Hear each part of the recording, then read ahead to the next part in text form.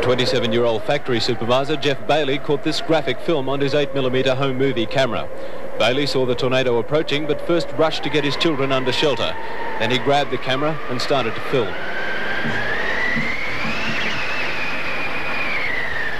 He said the tornado was white, spiralling hundreds of feet into the air. Furniture, tiles and roofing iron were swirling in an upward spiral around its centre.